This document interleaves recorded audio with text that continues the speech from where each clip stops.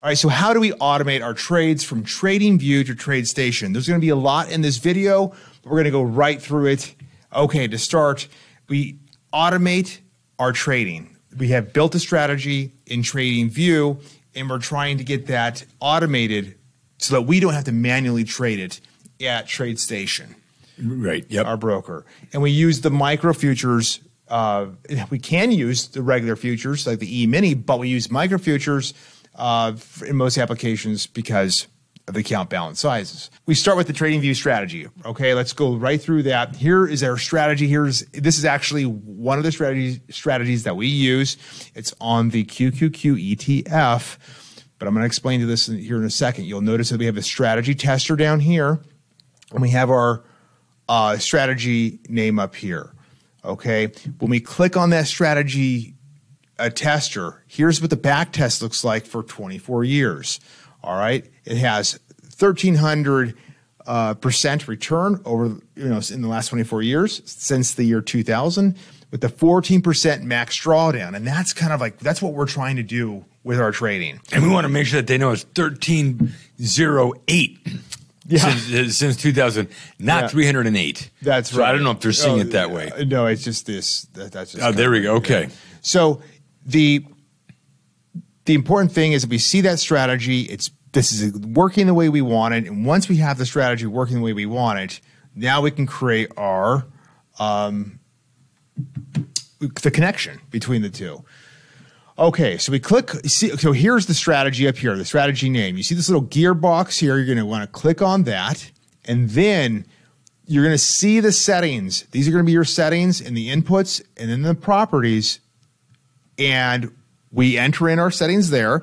And then in our alerts, or if we scroll down in the uh, inputs, you'll see the JSON messages for the uh, the code that we want to send the messages. It's basically the instructions. The JSON code is here, and this is actually uh, we are we we use Traders Post to, and that's where these messages these this JSON is going to be going to Traders Post. But I'll show you that here in a moment. You'll also notice that this chart we're using is on the QQQ, the ETF. That is, we use the QQQ on regular trading hours. We never trade our strategy over uh, use in the after hours.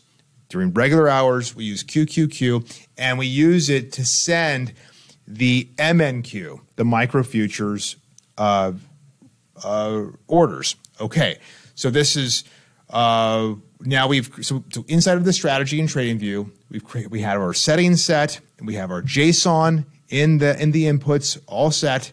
Now we have to go back to the chart, right click and put and add add an alert. This is in trading view. We create and under the condition, you actually would click this little drop down and click on the strategy on the which will, will come up. It'll show you the strategies that are on that chart.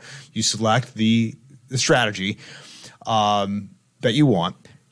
And this is the message we would basically have. And it's basically saying, hey, look, TradingView, look at the JSON inside of the message of the strategy or the messaging inside the strategy, the inputs. And then, and then that's under the settings tab. Under the notifications tab, we enter in a webhook, and that's from Traders Post. It's a third party. So it's kind of going how do we connect TradingView and TradeStation? We use a third party called Traders Post. They give us the webhook. The webhook is grabbing our TradingView and connecting it to the TradeStation broker. Here is what Traders Post looks like. Just from a user, you have your webhook uh, section, you have a strategy and subscription section. But basically, we go into the Traders Post, we click on View, we take a copy of the webhook from our strategy, and we then paste it inside of the webhook section inside of Trading View. And again, we do this on again this once you set it up, you, you don't have to do it again. It's just it's, this it's is just all that, that initial setup. Yeah, this is the initial setup. So people who use TradingView, they do this a lot. And, and if you are familiar with TradingView and you do, you know, you set up lots of strategies, indicators, you're used to this. But if you're not, um, you know, this is actually, I think, helpful to see how that process works using Traders Post. And we so what we have. Let me just go here forward here. We put in our we put in our webhook, and this is really what the, the graphic looks like. We have this is how you get the 100% automation. You get Trading View to Traders Post, and right now uh, we're showing you you know the Trade Station, but Tradovate is also available as a connection. The Trader Traders Post does connect to Tradovate. Boy, they weren't very creative, were they? Come on, these names. yeah, yeah, that's like a fourth name. Yeah, uh, we, have done several podcasts right now, and that's yet a, a fourth um, entity that's got that's got trade in it. So yeah. hopefully, it's not confusing. The, so the Tradovate is a broker that does uh, futures trading, and for a lot of people out there, they they're pretty. Tradovate um, and Ninja Trader are are now together. So they're now uh, they uh, it was Ninja Trader that I think purchased uh, Tradovate, or was it vice versa? Anyway, they're they're still branding separately. So,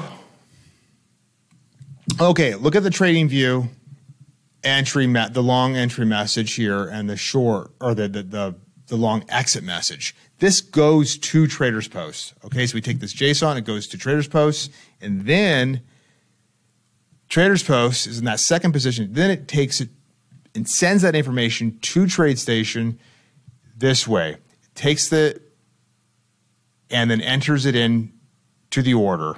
And this is all happening without your manual. Uh, it's without any any manual entry, and that is how we accomplish the trading view strategy automation, Trading View, all the way to Trade Station as well. All right. Well, you covered a ton. Yes. So be sure to subscribe, comment, and like, and we'll be back. All right. Thank you, folks.